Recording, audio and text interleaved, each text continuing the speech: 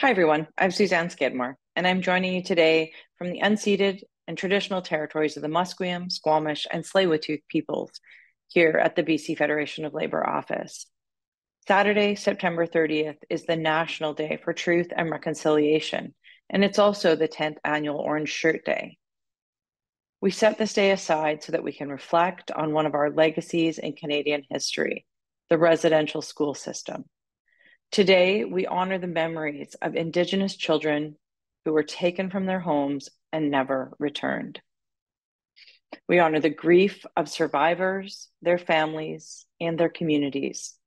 And we honor the work of First Nations to confirm the truths that they've known for so long.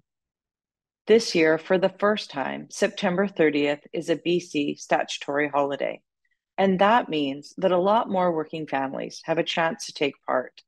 And it's important that we do so. It's especially important for those of us from settler backgrounds. The only way that we can move ahead with reconciliation as a province, as a country, and as a labor movement is if we start with truth.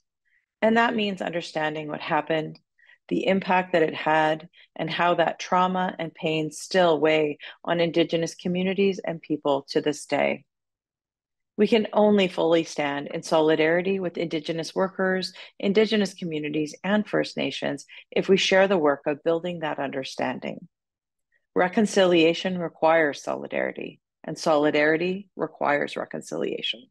So I encourage everyone make a plan to go to one of the many events happening across the province and across the country and even online. And if you can make a donation, consider doing, doing so. I'll be honored to join you on September 30th to do the important work.